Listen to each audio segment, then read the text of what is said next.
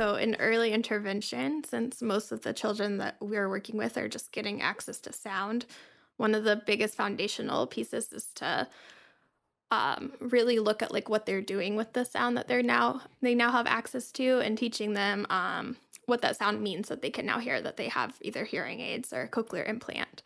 Um, so often the first step is just introducing them to sounds um, teaching them how to be able to detect a sound or be aware that a sound is occurring teaching them how to differentiate between two sounds identify a sound, um, and then comprehend a sound. So it kind of has an overlap with uh, language development, but when you're um,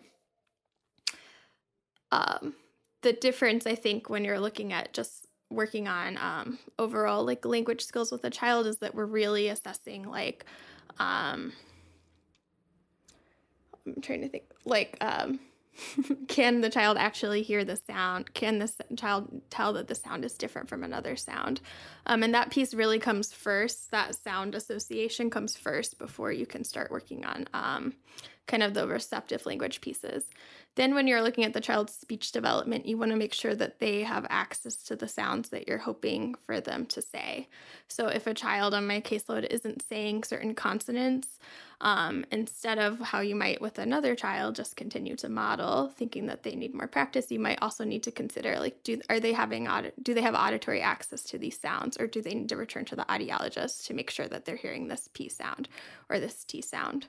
That's really interesting. So, what I'm hearing is is this related to the listening hierarchy as well? I know you had mentioned that that there's this listening hierarchy that you need to like figure out where they're at in the hierarchy.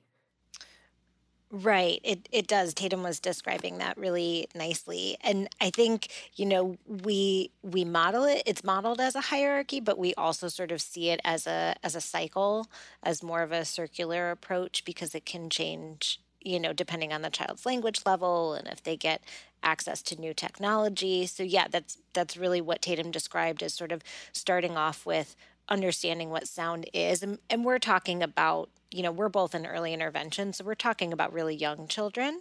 Um, and actually even you know, individuals that get cochlear implants sort of later in life if they didn't have a progressive hearing loss. But so you're starting off with just understanding what sound is and then progressing into being able to tell the difference between very small um, differences in sounds. And those are the things that lead to the ability to process language.